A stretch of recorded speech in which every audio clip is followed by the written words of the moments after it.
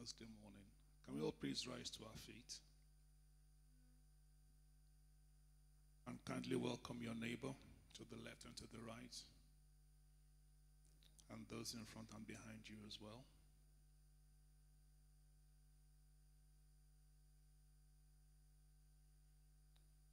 Today is the day the Lord has made, and we shall rejoice and be glad in it. Amen. Many of us are glad to be alive today. Oh, not all hands are up. So some are not glad. Praise the name of Jesus. Many of us are glad we're in church. Praise the name of Jesus. The best place to be is in the Lord's presence. He is ever faithful, is ever merciful, always loving. Praise the name of Jesus. Can we just lift up our hands and appreciate God for the gift of life? He woke us up this morning and enabled us to see a new day. Sometimes we take waking up for granted, but it's a gift. And we are alive purely by His mercies. And Father, we say thank you. We slept like logs last night. We had no clue as to what was happening around us. But you woke us up this morning at the right time with breath in our nostrils, our hearts still pumping. We say thank you. For you alone deserve the praise, you alone deserve the glory. You alone deserve all the adoration, for there is none like you. The King of kings and the Lord of lords, the Ancient of days, our bridge over troubled waters. You are the monarch of the universe, the possessor of the heavens and the earth. You are the shepherd of our souls. And Father, we are gathered today unto you not because of man and we ask, Lord, that you honor us with your presence. Glorify yourself in our midst this day. Do that which only you can do. Overrule the agenda of man. As this service is in heaven, let it be here on earth in the name of Jesus. We give you all the glory, Father. In Jesus' name. We give you all the glory. We give you honor. We give you all the glory. We give you honor. We give you all the glory. We give you honor. We give you all the glory. We give you honor. Praise God. Hallelujah. Praise God. Amen. Praise God. Hallelujah.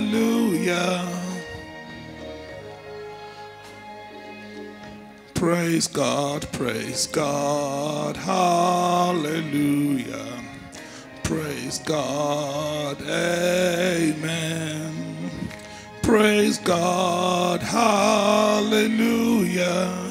Praise God, amen. Praise God. Praise God, amen. Praise God, hallelujah. Praise God, amen. Praise God, praise God, hallelujah.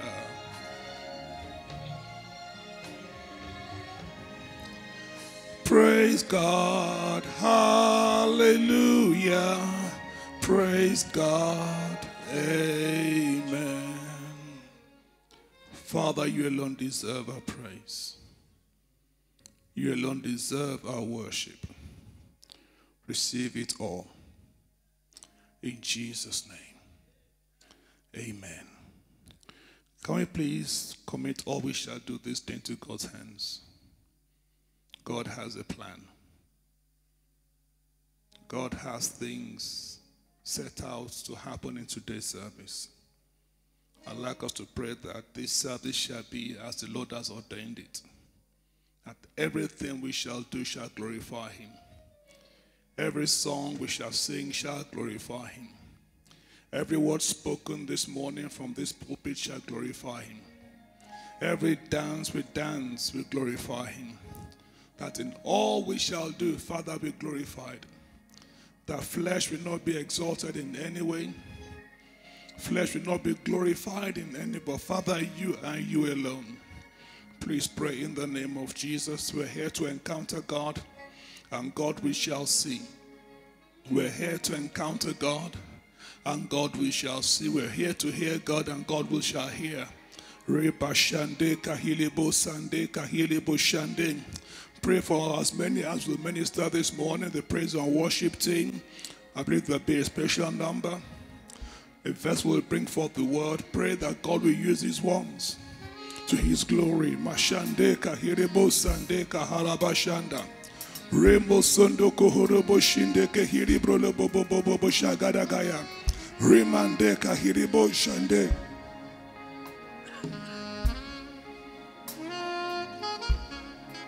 Remo shandeka hiribraka halababa sondo kohorobo shanda. Rebo shande kahilebo sande kahirebo shanda. Father, in all we shall do this morning, be glorified. In all we shall do, be glorified. Kahirebo shande kahirebo shanda. As we sing and dance, Lord, be glorified. Remo shande kahirebo shande kahalaba baba. As the world will come, Lord, be glorified. Kahilebo shande kaharaba baba. Rimando korobo boshege de kariba bashogodogo. Rimande kahili boshande kahili boshanda. Father, overrule the agenda of man. Overrule the agenda of man. Overrule the agenda of man. Kahire boshande kahili bobobobo. Rimande kahili boshande kahili brakalababa. Rimando kohorobo shandi calibre lebo bobo. Rima mandoro bra kalababa shagaragaya. Rima sande karibro kolebo shande karibro lebo bobo. Rimande kahiri bobo shagaragaya. We pray for the vessel that you've ordained to bring forth the word this morning. Lord, we ask you grant utterance, clarity of thought, and accuracy of speech. That every word spoken shall be as you've ordained it. Every word spoken shall be as you've ordained it in the name of Jesus. Every word spoken uh, shall give life to us in the name of Jesus. In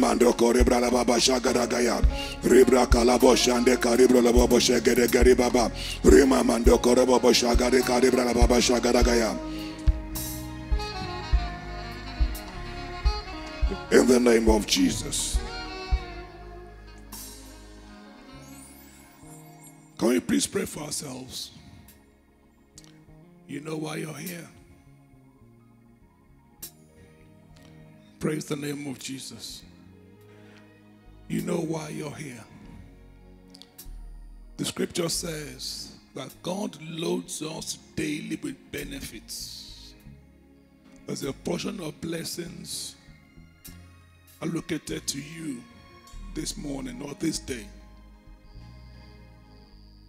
And I believe part of the blessings will be delivered to you during this service.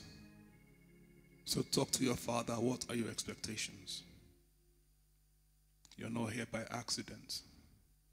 You may think you're here by routine, but you're not here by accident. God is not an accidental God. God is an intentional God. God does things intentionally. So that you're here this morning before God, God God has something He wants to deliver to you. So talk to your Father this morning. What are your expectations? His ears are not heavy that he cannot hear. Hmm. Neither his arms short that he cannot deliver. He's all knowing. He's all powerful and he's ever present. So talk to him this morning. Lay your petitions, lay your burdens at his feet. Express your heart to him this morning. And God is able to do that which no man can do. God is able to do that which no man can do. Every door that seems shut, God can open it. And when God opens it, no man can shut it. And every door that man has opened that is not of God, can, God can shut those doors and they will never open again. God is ever ready to fight our battles for us. He will never leave us nor forsake us.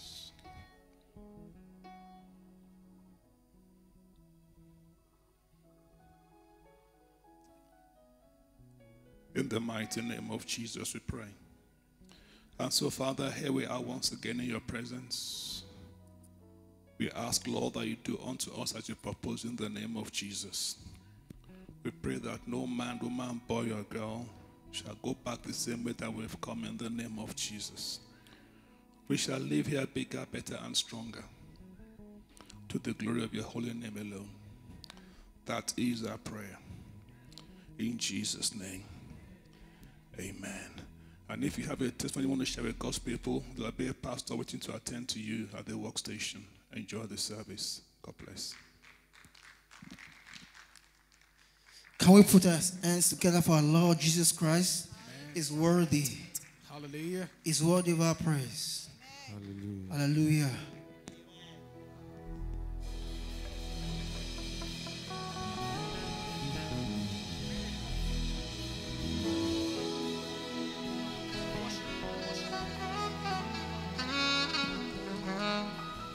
Come on, let's let's lift those hands to worship our God. It's worthy.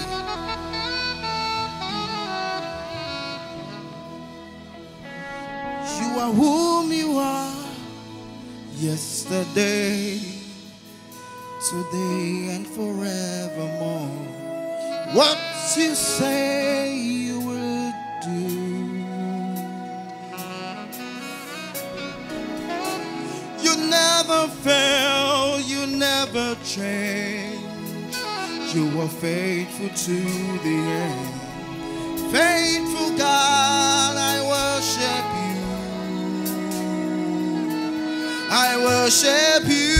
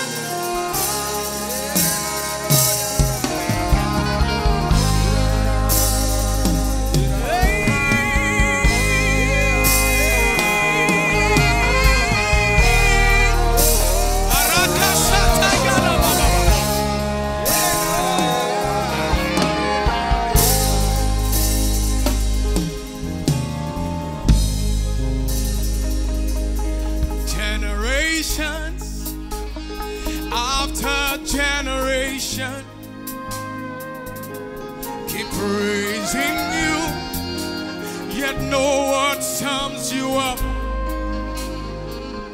Then I asked the Lord.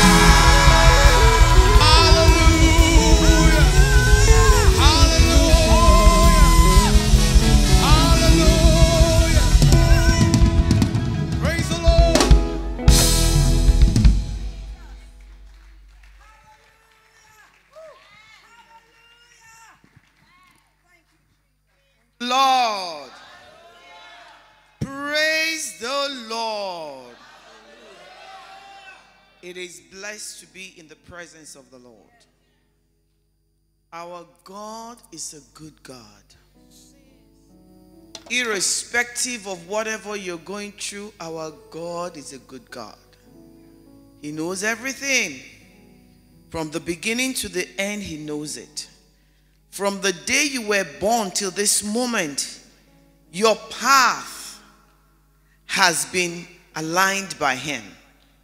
So, whatever you're going through in there, He said in His Word, He said your destiny in advance, He knows it. He said, even the good works that you will do is already there. He knows it. So, why are we worried?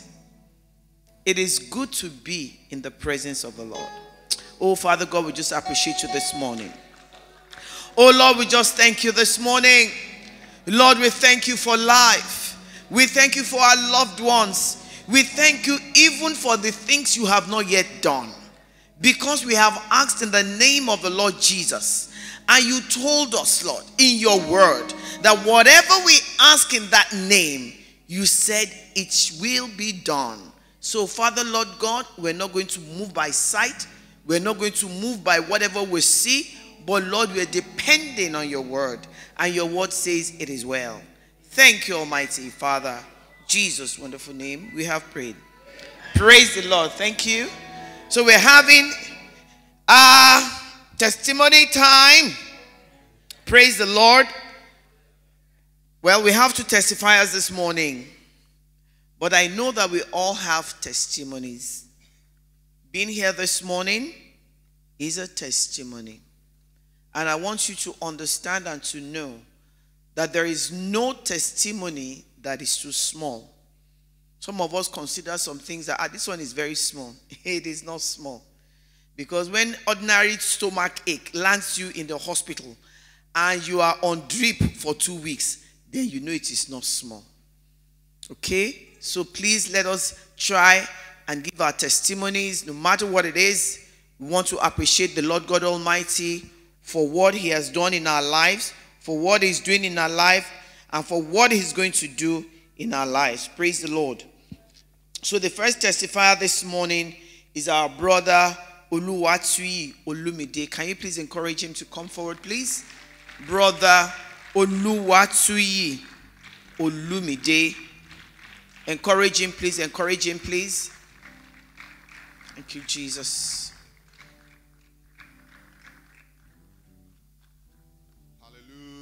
Amen. Hallelujah. Amen. There is God in this church. And Amen. I'm here to testify for what God has done, God of this commission. I give God all the glory. Amen. My name is Oluwati Olumide once again. And it's a vow that I will come here to testify to God. And that's what I'm doing this morning. I appreciate God of this commission. On the 7th of June, this very year, last month, I was delivered from medium Kirikiri prison. Hallelujah.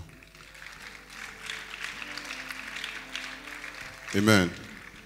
And the, this church, they always come to our chapel. We have a church in the medium prison, Freedom Chapel. They always come there every first Saturday of, of month, of every month. So they came last month, fourth. And by the grace of God, I was serving there, just like my, my life depended on that service. I was a sound engineer there. And they always come to share promises to us. I prayed to God. I said, God, please let this promise of today address my issue. I prayed and I cried. And when I picked my own uh, share of promises, I, I picked Zephaniah 3, verse 20, and I paraphrase NIV. That time that I will gather you, at that time that I will take you home, I will give you praise and fortune even before your very eyes, says the Lord. I pick these promises and I keep praying to God. I say, God, please let your promise come to pass in my life. And the part B, the second part of the the, the promise is when Brother Pastor Lumide came to preach. He now picked a, a, a chapter in the Bible. He picked Psalm 121. He now said we should personalize it. You know, I, I was at the altar, so when I, when I was personalizing it, I called my name. I said, I Olumide. He was like, no, bro, call your own name. I said, my name is Olumide. He was like, wow.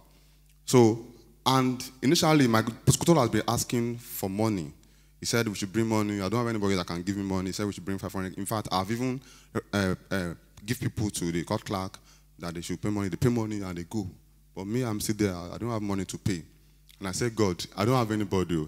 I look unto you. My help come from you. Sir, God is good. My God is good. On the 7th of June, after I do my midnight prayer, I just say, let me sleep. And I heard my name, Oluwatu Olumide, church and acquitted. I woke up. I woke up early in the morning around 4. I started sharing my team. My people were like, ah, Pastor they go to court now. When they deliver you, then you will call us, then we share. I say, please take whatever you want to take. I'm not coming back to this place today. They are laughing. They don't know what I saw. They are laughing. So when I went to court, my lawyer was saying something against what God had said. He said, Olumide, ah, they've given, they've forwarded your, your case to one uh, the department. They wanted to, da, da, da. I said, please, I'm going home today. It was like, wow, no problem. And he tried his best. Said, and a woman just stood up. This is a court of God. You know, this, is how they used to uh, set their own court. And the, the woman just went to my, pros- uh, uh, my prosecutor and he whispered to, to his ear. And the man stood up again and he said, ah, uh, Justice, I don't want to call her name. He said, ah, Justice, he said, you still have the judiciary, they, are, they speak all their English, that you still have the power to discharge this case if you want to. And Justice Professor said, wow, that in fact he cannot, you know, send this back to this man back to prison. That since 2018 February 1st, no complainer, no witness, no evidence, no anything. That she- she's discharging this case right now. And I thank God. I thank God. I thank God. Praise the Lord. Praise the Lord. You know, I asked him, I said, How did he get there? How did he get to that prison? What happened? And honestly, it was a mistake. Because he was a security man for one of the banks, and there was a robbery in that bank. And they now picked all the security men and said that they were accomplices to that robbery. Unfortunately, they took four of them, and later on, three were bailed. And he was the only one that couldn't have anybody to bail him. And because of that, he was there for over four years. Yes, in that place. So you see, when we give praise to God, it is because we know who our God is. And thank God for those people that went for evangelism in the prison because they were able to boost his faith and he also held on.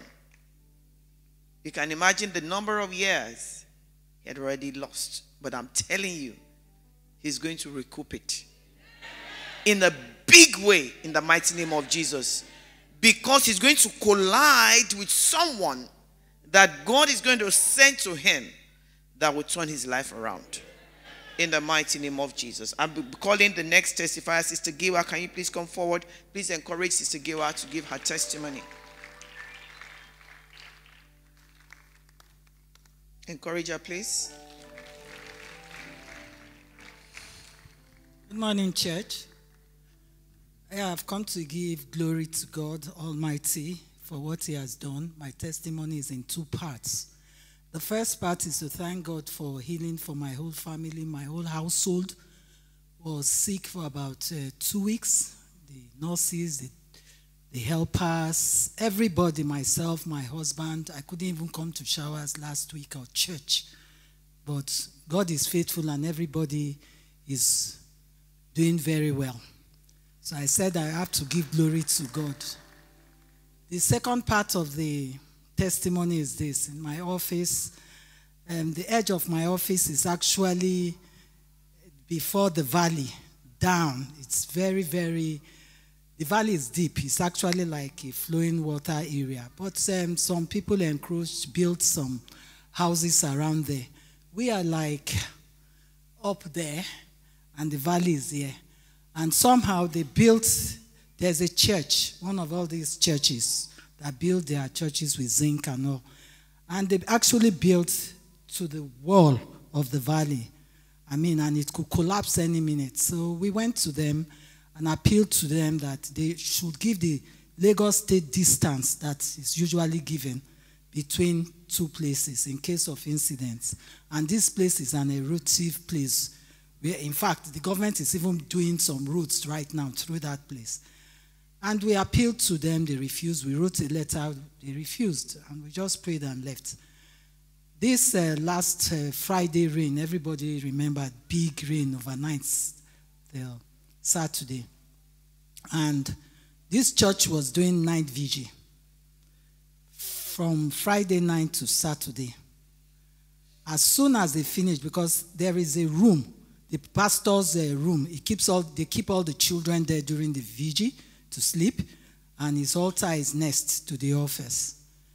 And um, as soon as they finished, all the children left. He left. Not up to one hour or 30 minutes. The fence from our office, as high as that, just came down the rain, straight onto that their zinc, crushed it, destroyed it, the altar. N- nobody was hurt. No single person was hurt. But the, the testimony is this. That Wednesday evening, I was in the office, and um, I had this strong intuition in the morning that we must pray around that office. I got to office, got busy with all the work of the day, and by the time I looked, it was 6:30. Most of the people that are Christians that will pray with me had gone. Only one fountainer, which is um, was with me, and I told her, I said, "Let's go and pray around." This is how I felt, but I was so much in a hurry to get home. But I stood. I said, "We have to pray," and we went round and prayed. We prayed. We didn't even know we prayed up to an hour. I know I got home very late that day. I just want to give God the glory that God is directed and not one soul. And you know what it is in Nigeria, whether it's your fault, it's not your fault. And they believe that you are the one that your property fell on them and things like that, and anything happens. It's life. Praise God. And we are talking about life. But God is so faithful that as they left, nobody, all was broken was just the building, Amen. sides of the building that was attached. I just come to give God the glory. Jesus. Praise the Lord. Our God is a good God. When you have intuition, when you have discernment, please don't wave it aside. Pray. The Holy Spirit is always with us. Well, I just have one testimony here that somebody sent to me. I just want to read it so that it can encourage us that whatever you're going through, God is aware. And I'll read. Mr. Samuel K. had a job interview to attend at 10 a.m., but his wife developed complications at 9 a.m. He decided to take the wife to the hospital and leave for the interview afterwards. But on their way to the hospital, the taxi broke down. It was already 10:30 a.m. before he could get another taxi. He arrived at the hospital at 11 a.m., dropped the wife, and used the same taxi to go to the interview. He arrived at the interview venue at 12 noon, which was two hours late. He rang the bell, but no one opened the door. Meanwhile, earlier at 10 a.m., the company mail delivery had rung the bell, but no one opened the door too. So when the door was finally opened, Mr. Samuel K said, I am sorry I came. He, want, he wanted to apologize for coming late, but the secretary interrupted before he could even finish his statement and ushered him to the boardroom. The secretary said, I apologize, Mr. Samuel K, for keeping you waiting till 10 a.m. We actually heard when the bell rang at 10 a.m., but we were held up in a meeting with our company suppliers.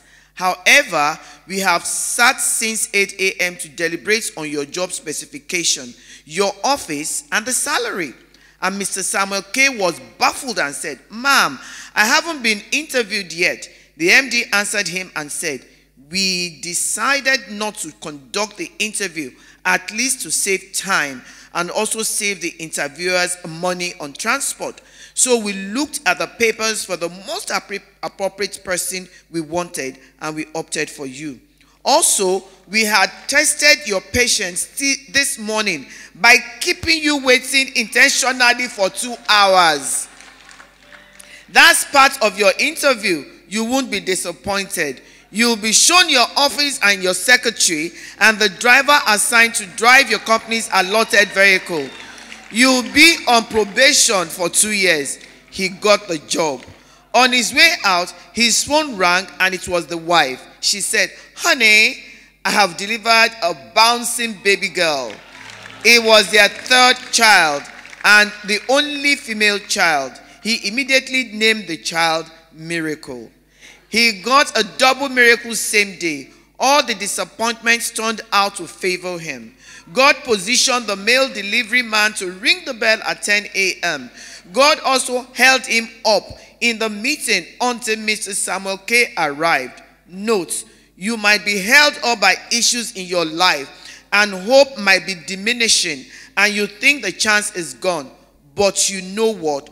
God's waiting for you to release his favor. So don't go back along the way.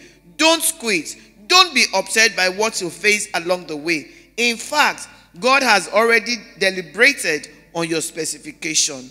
One more thing you don't have to go through any interview since you have all the qualifications God wants.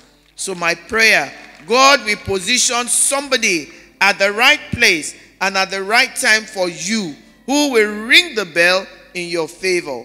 God will turn all your disappointments to be blessings for you, and every positive meeting will end in your favor, and every negative meeting will scatter in your favor in the mighty name of Jesus. So that is what I have for you this morning, and I know it is well with all of us in Jesus' name. Praise the Lord. I am sure you're going to be the next testifier in the mighty name of Jesus. Amen. So over to you. Let's have a special number from the, um, the instrumentalist while we get ready for our offering.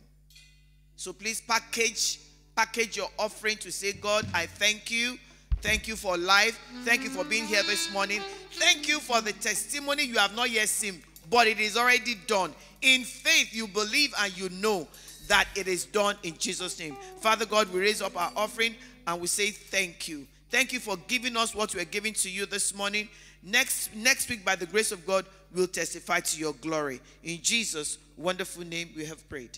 Amen.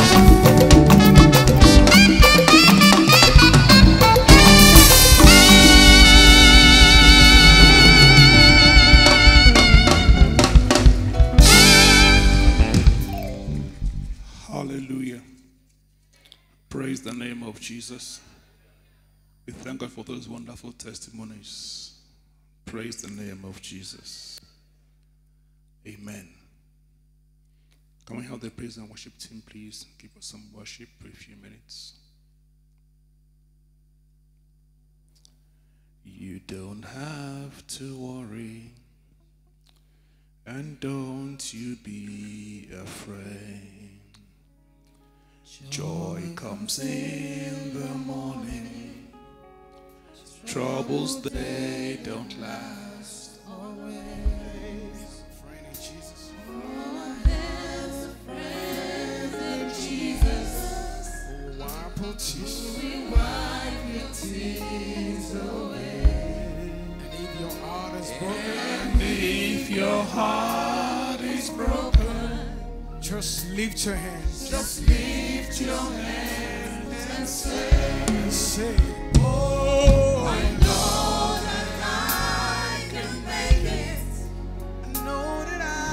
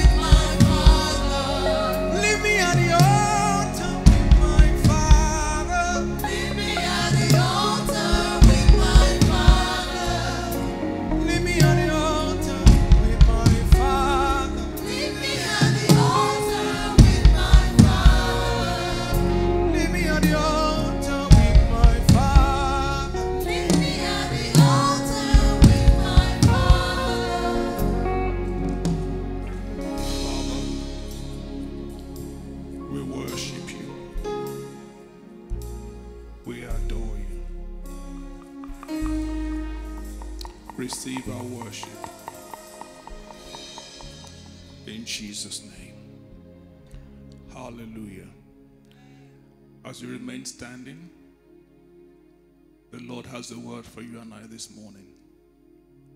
And the Lord has prepared a vessel specially for this service. He is an engineer by qualification, but a seasoned minister of the gospel. Praise the name of Jesus. A man filled with wisdom, highly anointed, and never a dull moment with him. Praise the name of Jesus. He is my brother, he is my friend. Please put your hands together as we receive the ministry of Pastor Dapo Williams.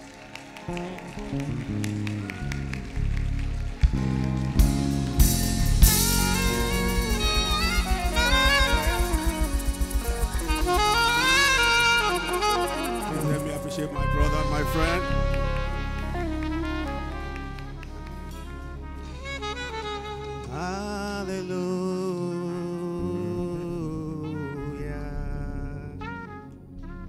Acknowledge our Father and our God. God is an awesome God. Hallelujah.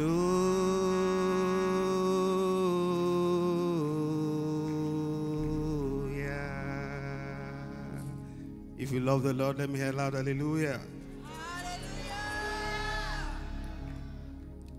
If you are in love with God, let me hear loud hallelujah.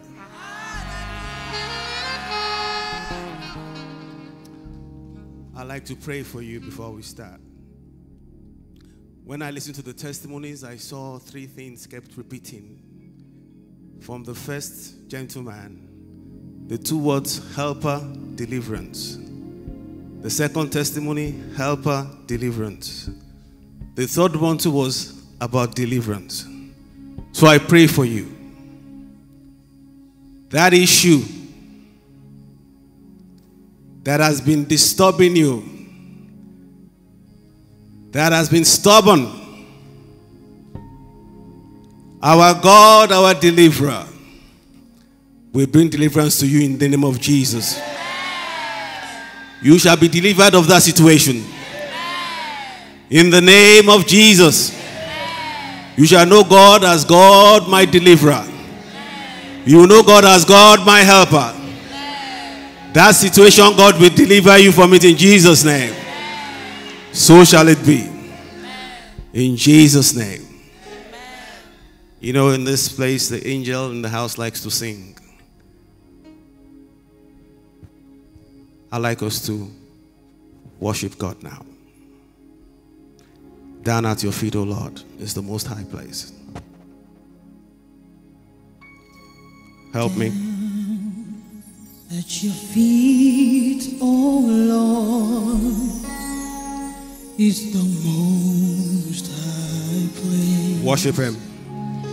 In your presence, Lord, I seek your face. Mm-hmm. I seek your face down at your feet.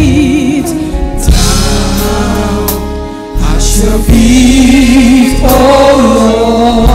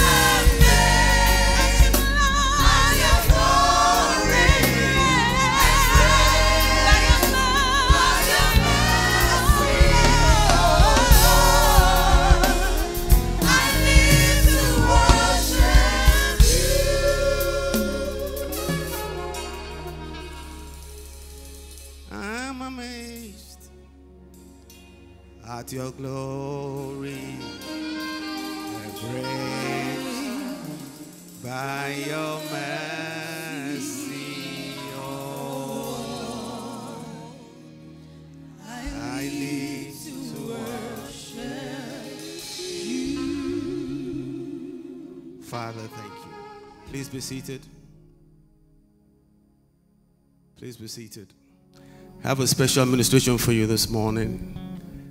I've invited a dear sister and the best choir in the world. Just a small section of them. But this is my name for her. Don't nobody should call her that name. I call her my Rosinta. Please let me let her come. Come and bless us. Hallelujah.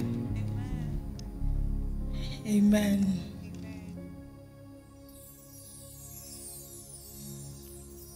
Oh, how beautiful it is to see you moving. Oh, how beautiful it is to see you move. You've poured out your spirit on every heart. You sent forth your word, and it came to pass. What our fathers and mothers could only foretaste is now in our lifetime. The after of days, eyes are unveiling, hearts are aligning, dead bones are rising. His spirit is moving. Eyes are unfailing, hearts are aligning, dead dreams are rising. His spirit is moving, He's breaking addiction, He's breaking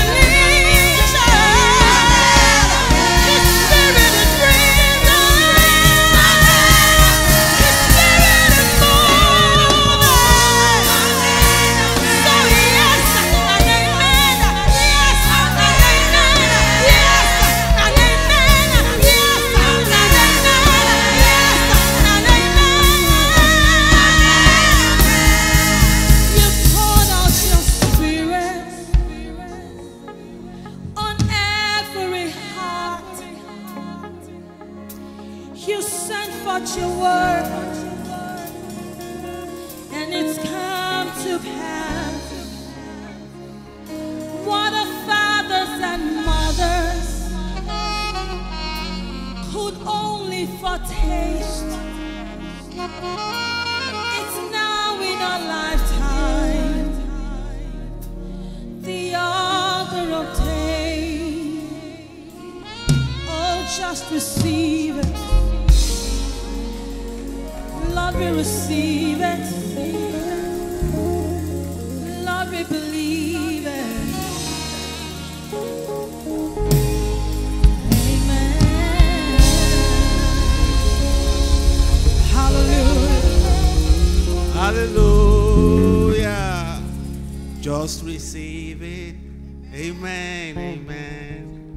Just receive it. Say amen. Amen. I said, just receive it. God's blessings. amen. God's favor. God's deliverance. God's favor. Just receive it. Please let me appreciate these beautiful people. Thank you, choir. I'd like to start with Habakkuk 3 4. NKJV version. Habakkuk 3 4.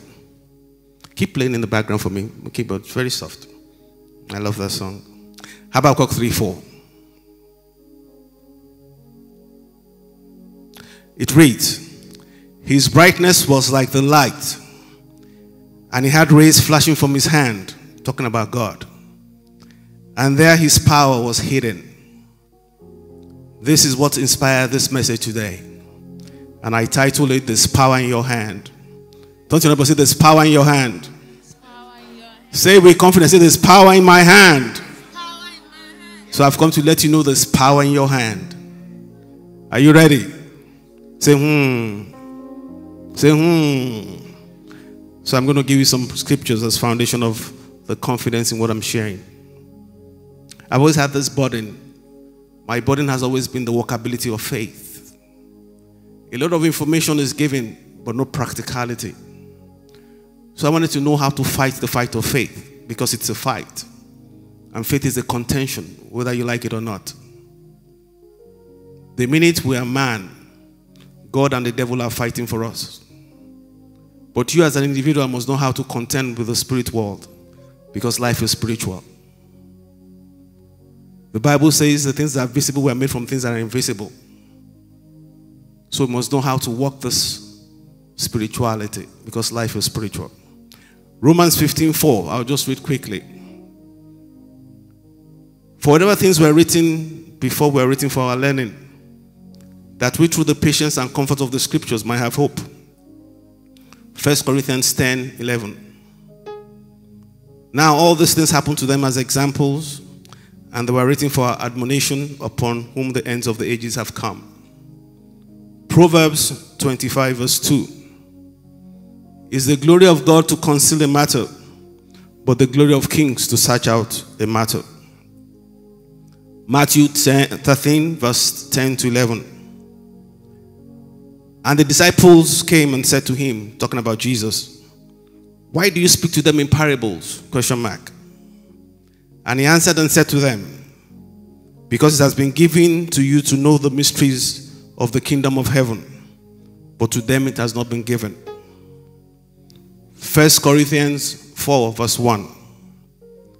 Let a man so consider us as servants of Christ and stewards of the mysteries of God.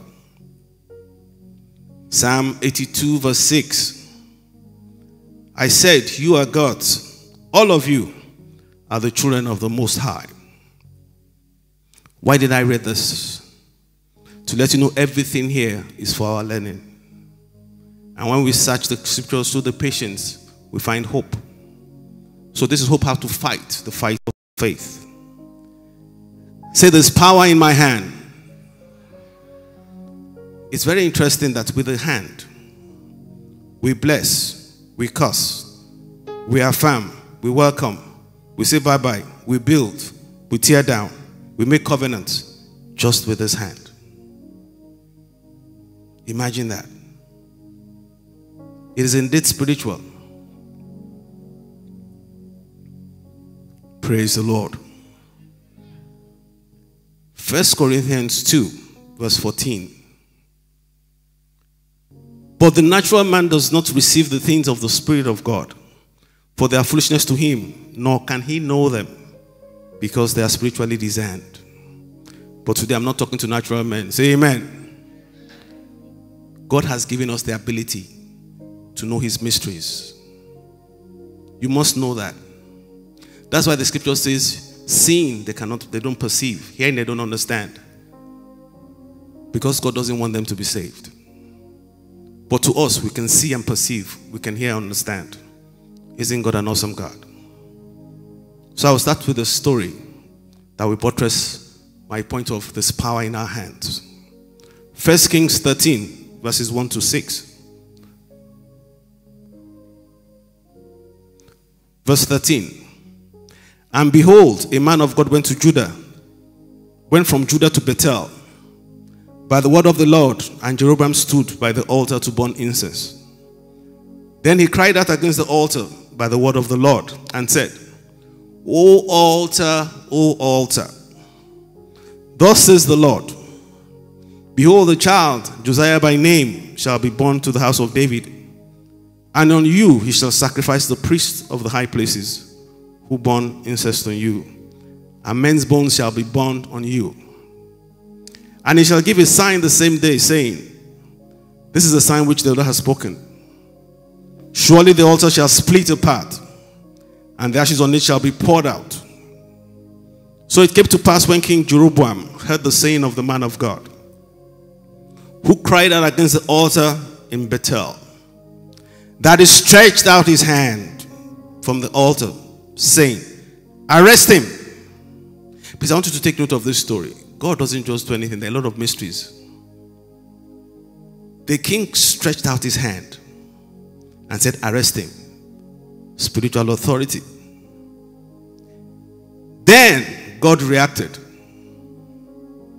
Then the hand which he stretched out towards him withered. So he could not pull it back to himself. Do you know your God? Do you know who you are? We are little gods. You know, the Bible says, where the word of a king is there's power. This king spoke a word and used the authority. He knew he had power. And God seized that. So, with that, I command. I have not come in my name, I've come in the name of the Lord. Every hand that is stretched against your destiny, let it wither now in the name of Jesus. Every hand that is stretched against your joy, every demonic hand that's stretched against your family, let them wither now in the name of Jesus. I will say it again I've not come in my name, I've come in the name of the Lord. Then the altar was also split apart, and the ashes poured from the altar, according to the sign which the man of God had given by the word of God. So I prophesy to you that after this service, God will give you a sign. I said, God will give you a sign. He will give you a sign of deliverance. A sign that those who are with you are more than those against you. A sign that no weapon fashioned against you can ever prosper. A sign that you will laugh in the time of famine. A sign that barrenness is no more your portion. A sign that you have favor with God and you have favor with man. In the name of Jesus. Say hallelujah. Remember, we're talking about power of the hand. Matthew 19, verse 13. Talking about Jesus. Then the little children were brought to him that he might put his hands on them and pray. But the disciples rebuked them. The question is, why did God put this in the Bible? Jesus wants to lay hands on children and pray. So, this is the lesson I want you to pick from this. Parents, lay hands on your children and pray for them. Bless them I said, Parents, lay hands on your children and bless them. Let me give you a testimony quickly. Our first son, when he was traveling, I got this nudging to lay hands and bless him. This is not something I do every time, so it's not a religious thing. That day I was prepared based on the revelation of the Word of God. So I called said, Son, kneel down. I want to bless you as your father. And I laid my hands on his head and I said to bless him. I was blessing him with the blessings of Daniel, that he'll be 10 times more than his peers. Everywhere he goes, 10 times more he will show. He will stand out. And I said, I bless you as your father in the name of Jesus. I didn't remember I'd prayed for him like that. About eight years after, he was talking to his mom. And he said, Mom, you know that prayer daddy prayed for me? It has worked for me all the time. It's been my testimony. I that I prayed, it didn't even remember. Let me tell something about prayers for your children. When you pray, those words go into the spirit realm. Even after you and I die, those words don't die. They go over their head. Anytime they need it, it comes for them. So, parents, there's power in your hands. Say, there's power in my hand. I read the second story. Or before then, let me share some about Genesis 126. Genesis 126. Then God said, Let us make man in our image according to our likeness. Let them have dominion over the fish of the sea, over the birds of the air, over the cattle, over all the earth, over every creeping thing that creeps on the earth. What I can deduce from this man was created to contact God, to contain God, and to manifest God. That's why the Bible says, Ye are little gods.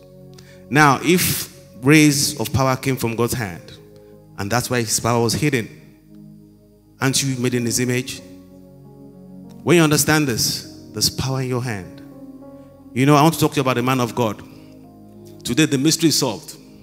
When he's preaching, he always says, I feel the fire. Sometimes he says, I feel the fire in my hands. I feel like laying it. I had the man's church somewhere in Ilupeju. And the man is my pastor. So the mystery of fire in the hands is solved. There's actually fire. But you see, all of us have a measure of this fire, but it varies in intensity. There's fire in my hands. So, Second Kings 13, 14 to 21. Another very interesting story. Elisha had become sick with illness of which he will die. Second Kings 13, 14 to 21. Elisha had become sick with an illness of which he will die. Then Joash, the king of Israel, came to him and wept over his face and said, O my father, my father, the chariots of Israel and their horsemen. And Elisha said to him, Take a bow and some arrows. So he took himself a bow and some arrows. Then he said to the king of Israel, Put your hand on the bow. So he put his hand on it. And Elisha put his hands on the king's hand. See, all these stories are not written because God is looking for gist. You must see that there's some strange stories. When you say a strange story, there's a mystery. A king runs to a prophet and says, You know what? Do this. Put your hand. Let me put your hand on mine. And he lays his hand there. He now says, Open the east window. And he opened it. Then Elisha said, Shoot. And he shot. And he said, The arrow of the Lord's deliverance and the arrow of deliverance from Syria. For you must strike the, must strike the Syrians at Aphek till you have destroyed them. Then he said, Take the arrows. So he took them. And he said to the king of Israel, Strike the ground. So he struck it three times and stopped. And the man of God was angry. Do you wonder why these stories are in the Bible? The man of God was angry. Said, You should have struck five or six times. Then you will have struck the Syrian till you have destroyed them. Now you will strike Syrians only three times. The first question I ask is why did this man of God know this kind of prayer? He knew that life is supernatural and he carried something. He knew by, let me put my hand on your hand, let me release the anointing God has given me. That prayer started from a thought. So when we talk about faith, faith is an imagination, it's thinking. It's a substance of things hoped for, evidence is not seen. It's been demonstrated here. The servant of God saw the victory that by the time he strikes the arrow seven times, will have victory. Was the victory there yet? Then Elisha died. It's not over yet. And they buried him. And the raiding bands of the Moab invaded the land in the spring of the year. So it was as they were burying a man, then suddenly they spied the band of raiders and they put the man in the tomb of Elisha. And when the man was let down and touched the bones of Elisha, he revived and stood to his feet. Even the dead bones of Elisha had power. See, the power comes out from our body, but he directed it with his own hands first. Do you know this about yourself? Say, There's power in my hand. What an awesome God. I'm going to read some scriptures to you to buttress my point. Then I'll give you some testimonies as I be closing. Exodus 24, verses 9 to 11. Then Moses went up, also Aaron, Nadab, and Abihu, and 70 elders of Israel, and the saw God of Israel. And they were under his feet, as it was paved with sapphire stone, and it was like the very heavens in its clarity. But the nobles of the children of Israel, he did not lay his hand. So they saw God and they ate and drank. Why was it significant that he did not lay his hand?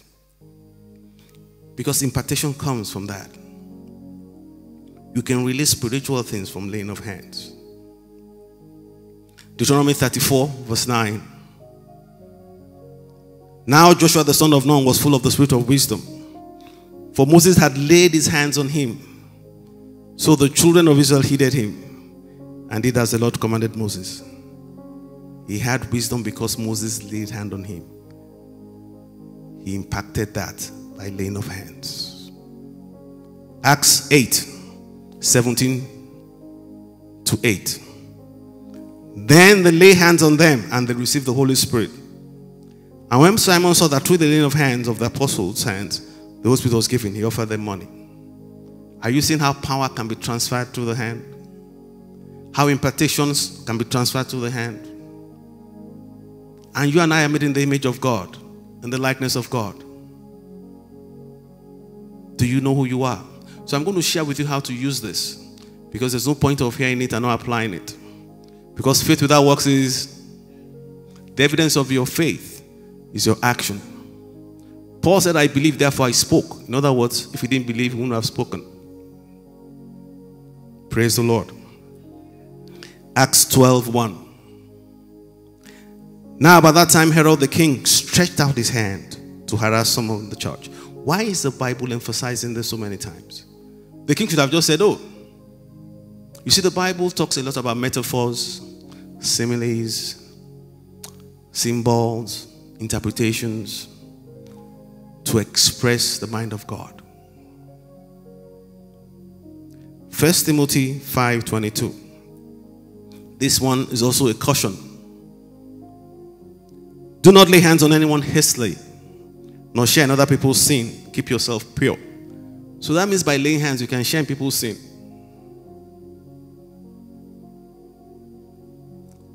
God is not just saying a story. These are words from the holy book. That's why I don't let anybody just lay hands on me. I don't want to partake in anyone's sin unless God is the one that leads me to do it. Praise the Lord. Good. I'm making good time. Thank you, Father. Well, you also know Acts 13 31. Then, having fasted and prayed, they lay hands on them and send them away. Say, I have power in my hands. You have power in your hands. Now you are going to use it. Ezekiel, I like this one, it's another interesting one. Ezekiel 34, 35, verses 1 to 4. I read quickly. Moreover, the word of the Lord came to me, saying, Son of man, set your face against Mount Seir and prophesy against it. Say to it, Thus says the Lord. I was trying to imagine in those days when prophets do that, they'll think they're a little uh, off. I know of a case of prophets when God says, Start talking to the river, start talking to the water, talk to the land. It's like I come to Lake and I turn to a building and I start to speak to it. You think there's something wrong. But these stories are written for our learning. Behold, O Mount Seir, I'm against you. I will stretch out my hands against you, make you most desolate, and I shall lay your cities waste. You shall be desolate, then you shall know that I am the Lord. Why did God have to say this? So I pray for you. Hmm. The Bible says, if God be for us, who can be against us? Anyone that is against you will have to face God. I said, anyone that's against you we have to face God. God will stretch his hands against those people that they will know that he's God. In the name of Jesus. Let God arise and his enemies be scattered. In the name of Jesus. Ezekiel 36, verse 7. I like this one too. The first time I read it, I used my imagination. Therefore, thus says the Lord God I have raised my hand in an oath that surely the nations that are around you shall bear their own shame. Everyone that tries to put you to shame will be put to shame. In the name of Jesus. Why did God have to demonstrate that? Because there's something about the hand. Have you noticed that when men are having issues and they want to prove their point, whether they're born again or not, they raise up their hand? Do you think it's normal? Because it's spiritual. It's in the Adamic nature and the Christ-like nature. I, I, the same hand you used to welcome someone, you also tell someone to go back.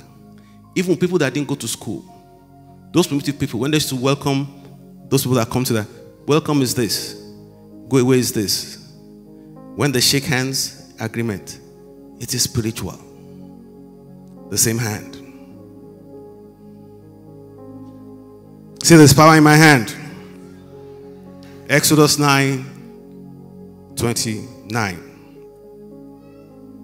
So Moses said to him, As soon as I've, I've gone out of the city, I will spread out my hands to the Lord. The thunder will cease, and there'll be no more hail, that you may know that the earth is the Lord's. I like this kind of testimonies. A servant of God said something. He didn't say, I will speak. He said, When I raise my hands, my God, then the thunder will cease. Can you challenge situations that way? You should be able to. For we are made in his image and likeness. You know, I told my is the workability of faith. So I'll give you some testimonies quickly. I remember I was sharing with a lady, and you know, some people think scripture is just a joke. Take this thing seriously. The times we are in are very evil. You must learn how to fight. Whether you fight or not, it will come to you. I was sharing someone, and someone said, Ah, Pastor, like, all this thing about fight, fight, fight. Hasn't Jesus finished the work? Say it is finished, you not fight. I said, Go and see. After Jesus died, see what happened to them in the book of Acts. Was the work finished? Paul that wrote it, the book of Acts, one time they stoned him, they beat him. But Jesus had died now. Praise the Lord. So let me tell you some stories. This lady, I was sharing with her, she thought I was joking. I said, Look, the position you have, you have to know how to fight and you have to ask the Holy Spirit to teach you. The Bible uses the type and shadow. When David wrote, he said, He stopped my hands to fight, my fingers to war. Today, our weapons are not carnal, but they're mighty to God to the pulling down of strongholds. They're spiritual. Casting their imaginations, holding every thought captive with to the Spirit of God. So she was at a meeting. I said, In that meeting, all sorts of people are going to come. Demonic chiefs, the ones that are not, everybody's worshiping something. So she said, She now came to me and said, Pastor, you won't believe what happened to me. After a meeting, a chief came and shook her hand. He said she felt something moving from that man's hand and crawling up her own arm. He said she now rebuked it. I rebuked it. The thing went back into the chief's hand. The chief put his hand down and looked at her. You know where I fear God? If you do not contend with it, she will suffer. I remember Pastor's testimony many years ago when he said, when was UI? Said there was a club around Odon or somewhere like that. And anytime they passed, they would stretch their hands towards the club and cuss it. Weeks after that, the club closed down. Do you think it's an accident? Let me give my own testimony. One day, say one day, to make sure you're awake, say one day. we were living around um, Badagry of um, Jones. And this night, doesn't, things don't really bother me that much. But this night, the cats, they were, you know, when cats are mating, they make all these funny sounds. But this one was different. It was a, because it's, it came from my, from my sleep. They were making some funny sounds. I knew these were not ordinary cats. And as I got up from my sleep, like the Holy Spirit prompted me up, I looked at the window and I saw the cat looking at me. I felt evil and I stretched my hands and I cursed it. I said, "Pruk, pruk," just started rolling, bam. God is my witness. You have power in your hands. That doesn't mean everywhere I'll be going, I'll be looking for cats. No, no, no, no. There's a spirit in a man, and the breath of God inspires it. I'll give you another one. I heard of a story of a pastor in the USA. They said there was a storm coming, and um, he had nowhere to go, and everybody was packing the news people. He said when he realized that he can't go anywhere, he said he came out of his house. You know those tornadoes? I said he stood and stretched his hands towards the storm and rebuked it, and the storm went around his house and did not destroy his house. I said, There's power in your hand. Said, There's power in my hand. I remember another testimony given by Rod Parsley, a message I listened to many years ago. He was talking about Lester Sumrall. He said in the US in the 1930s, I believe, during the times of the first that depression, that people were killing themselves because people went bankrupt. He said Lester Sumrall went to this Asian company because I was once had the money and was trying to appeal to them that please be lenient with people. You know, people have lost all they have. He said they made a mockery of him and told him to leave their office. The story goes that Lester Sumrall came out of the building in New York. Said he crossed the street and he stretched his hands towards the building and cursed. Within one month, that company folded up. He's a man like you and I. But remember, intensity varies. Your authority is based on your relationship with God. Power is a gift, but authority has confidence. I remember another story, okay, by our pastor, Pastor Taiwo. By the way, God bless him. God keep him. God gave him strength. He's been such a blessing in my life. Oh, I learned so much from him. He is my pastor. It's personal. He's our pastor, but he's my pastor. I remember a testimony that happened when God was giving me revelations of this. Because what God does, it, it connects the dots for me. It, it was one all night. How many people remember in that old place? Pastor came to church and was very restless. And my grace is like I had to observe. That day was just, I said God gave me a very funny instruction. I don't remember that all night, told all of us to stretch our hands towards this direction. How many people remember that all night? Thank you. We stretch our hands towards this direction. You know, turn, he said, okay, turn, stretch your hands towards this direction. Then everybody danced again. Said, stretch your hands towards this direction. Then said, stretch your hands towards this direction. Four points. Said, God told him to do it. Why? It was later I realized what God was doing. He himself didn't know why God said he should do it. But as I observed over the years, that time we were trying to buy property. The first property we bought was in this direction. The second one was in that direction. The third one was in that direction. The fourth one was in this direction. Do you think it's an accident? Look at your hand. Say, I have power in my hand. You are the child of the Most High God. Goat gives back to goat. Lion gives back to lion. God gives back to gods. Praise the Lord. I had another testimony by Pastor Samadi Adeyemi. You know, God gives me things like that. I just connected it. It was one of his messages many years ago. He said, anytime I used to drive through the expressway, you know those three Lagos idols that they put at the gate? The three funny men? He said that thing used to annoy him. And he would stretch his hands and curse it. Every time he would dress, he would and curse it. He said, lo and behold, months after that, Lagos state government moved the toll from there. And that place longer became a gate. Do you think it's an accident? Life is spiritual. Let me give you another testimony quickly. Do you know that stretching out your hands appears 26 times in the Old Testament? God doesn't just speak. Let me give you a testimony that happened. I went to go and do a naming. And in that naming, I had done everything and prayed and gone. In the afternoon, the mother called me. She was panicking. You know, sometimes we do foolish things without realizing. When they were doing the party for the baby, she now went inside and brought the baby out and started going from table to table. Eh, eh, I? Look at the baby that was born. She now said she got to a particular table, her father in law's table and his friends. Said there was a man. You know, women have intuition, women have discernment. Said the old man used his left hand and put on the baby's head and mumbled some things. She said she knew something was wrong. She just felt. So she called me, Pastor, please come. I said, I'm not coming. I said, You go and tell your husband Take the baby inside the room and tell your husband to lay his hands back on that baby and cancel everything. And that was their saving grace. You see, power must jump power. What confidence that man had with his left hand? He knew he had something he could release from his hand. You're the child of God. You just do cry, baby. It's time to grow up. Say, there's power in my hand.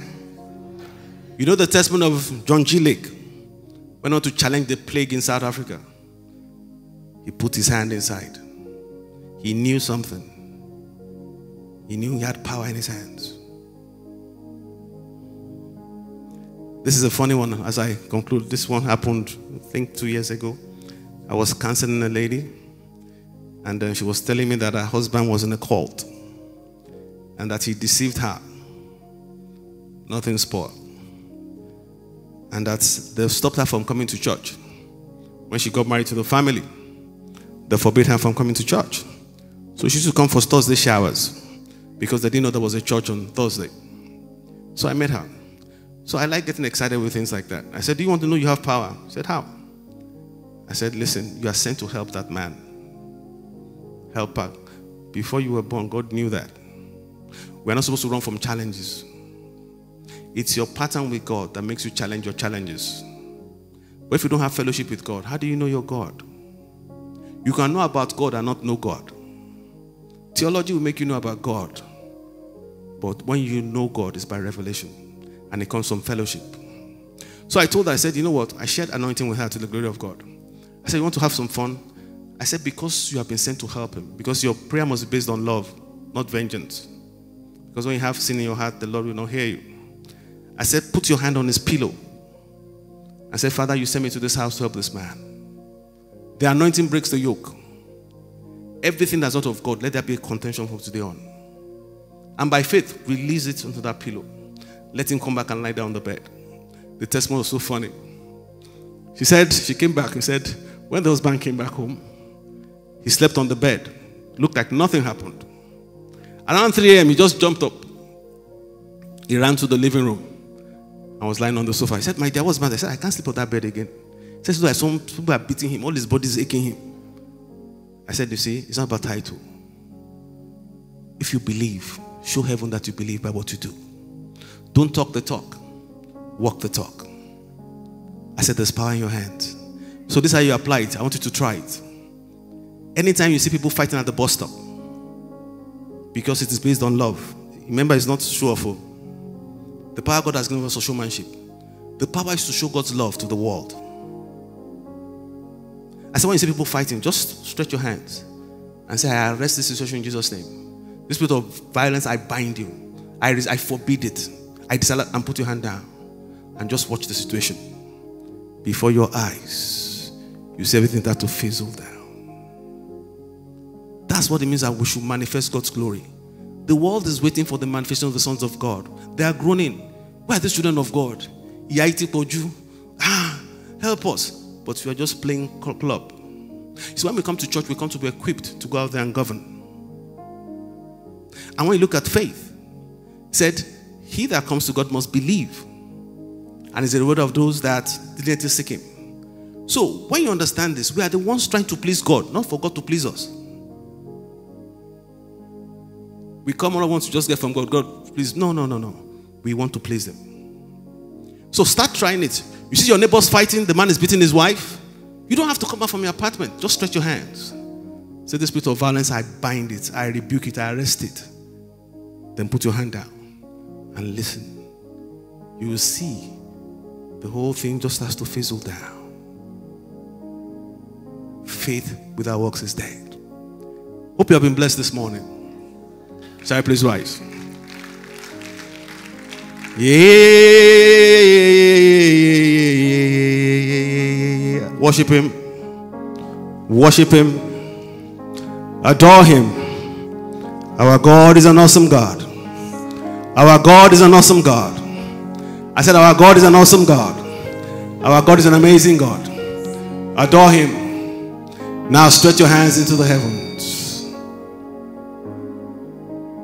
Say, Father, let us shake the world together. Say, we can say, Father, let us shake the world together. Say, Father, let us shake the world together. That is our request, Father. In the name of Jesus. Oh, I love this God. I love this God. I love this God. You deserve the glory and the honor. Lord, We lift our hands in worship tell him, as we lift your holy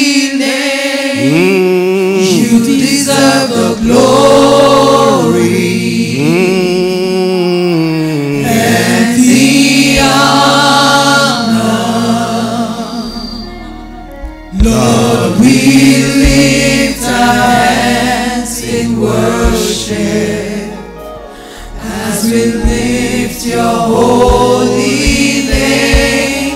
For you are great, you do miracles so great. There is no one else like you. tell him,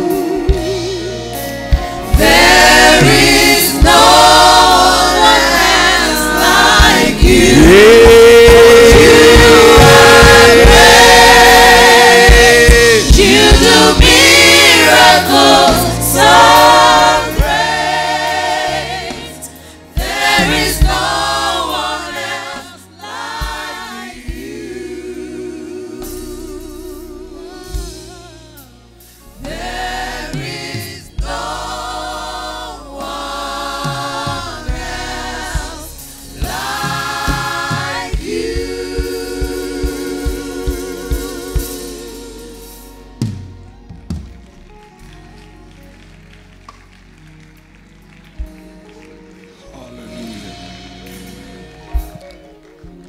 Father, we thank you for that word.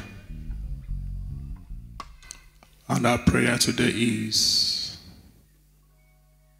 that you help us in our everyday walk with you. That in every way we show forth your glory.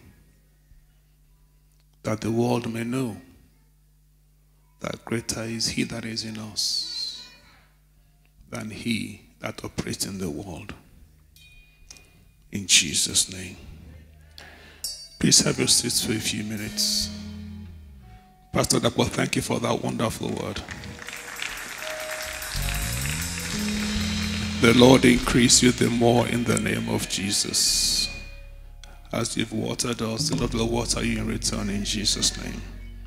You wouldn't have it better yesterday. Your head will not lack oil, and your garment will not be stained in Jesus' name. Know, while he was mentioning, something occurred to me. How many of us are conscious of what we carry? We are conscious of what we carry. Praise the name of Jesus. If you're not conscious of what you carry, then you won't know where and know how to, to exercise the power in you. Praise the name of Jesus. And I spoke about hands being laid on us and us laying hands on things. If you're not conscious of what you carry, fear may creep in in some cases, but it's not for you to be afraid because you know who you are and what you carry. Praise the name of Jesus. Greater is he that is in you than he that is in the world. So when you stretch your hands, when you need to stretch your hands, know what you're doing. Power is being released. Praise the name of Jesus. So know what you carry. That is the first step. Then exercise the power you have. You have the authority. Praise the name of Jesus. You're here this morning, you don't know who Jesus is. Really encourage you, please don't leave this service without giving your heart to Jesus. Otherwise, what he shared will make no meaning to you. Praise the name of Jesus. You're here this morning, you want to give your heart to the Lord. Please raise up your hand, we'll pray with you before we close this service. Okay. No hands are being raised. So believe you're all born again. Praise the name of Jesus. Can we please rise to our feet as we close the service? I'd like us to leave here this morning fully conscious of what we carry and go out there to manifest the power and return with testimonies in the name of Jesus. Father, Lord, we thank you. We commit the rest of the day into your hands. We ask, Lord, go before us to make the crooked straight, breaking the gates of brass and bars of iron asunder in Jesus' name. Today will end well. In the name of Jesus. Today will end well. In the name of Jesus. Today will end well. In the name of Jesus. We shall all return home safely with testimonies on all fronts in the name of Jesus.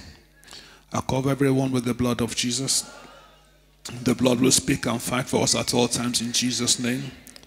Nothing shall be missing, nothing shall be broken. We suffer no loss in any way in Jesus' name. Our victory is assured in Christ, and that is our testimony. In Jesus' name. May the grace of our Lord Jesus Christ, the love of God, and the sweet fellowship of the Holy Spirit rest and abide with us now and forevermore. Amen. And surely God's goodness and mercy shall follow us all the days of our lives, and we shall dwell in the house of the Lord forever and ever. Amen. For the law of the Spirit of life in Christ Jesus has set us free from the law of sin and death. And so sin shall not have dominion over us, for the same Spirit that raised Christ from the dead dwells inside of us, and it quickens our mortal bodies to the glory of his holy name. Amen. Please, you do need to come to the altar to pray after service. Please don't leave your bags unattended. We appeal to you, please don't leave your bags unattended at any point in time.